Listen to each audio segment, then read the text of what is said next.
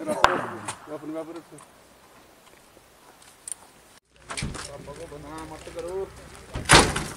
खबरों के लिए नीचे दिए गए सब्सक्राइब बटन को दबाएं और नोटिफिकेशंस के लिए बेल आइकन को दबाना मत भूलिएगा